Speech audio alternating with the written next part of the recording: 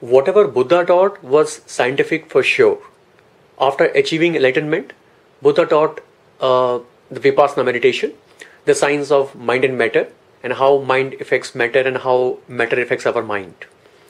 Uh, in the present day, basically, it has been propagated by uh, Honorable uh, Vipassana teacher Shri S. N. Goenkaji, his wife, uh, all the assistant uh, teachers across the globe, and all the Dhamma workers selflessly.